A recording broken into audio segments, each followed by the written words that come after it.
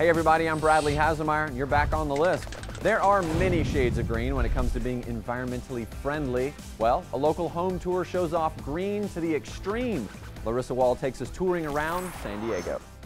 At number one, this home in Ocean Beach is one of nine certified green homes on a green tour this Sunday. $5 gets you inside all of them to see innovative energy saving design and products such as chemical free paint and a sofa out of recycled materials. This home cost about 35 grand to go green. Absolutely worth doing. You're going to save money every month, every year on your bills and you're doing something good for the environment. So I think it's a great thing to do. The home has an ocean view and serves as a music studio for the band Liquid Blue.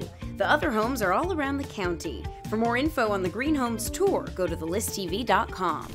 Adventurous at number two. Thrillist.com and Living Social say San Diegans like an adrenaline rush, coming in second as the most thrill seeking city, only behind Philadelphia.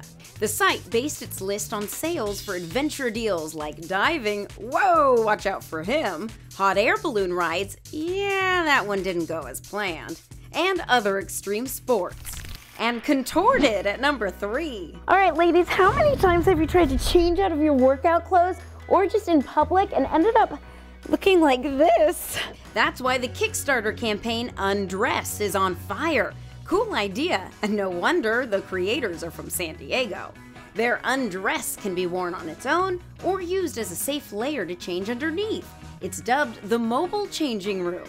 So, creators hope to raise 22,000 for the idea. They're closer to 622,000. Talk about filling a need. Exposed no more. Now you're caught up and clued in around San Diego.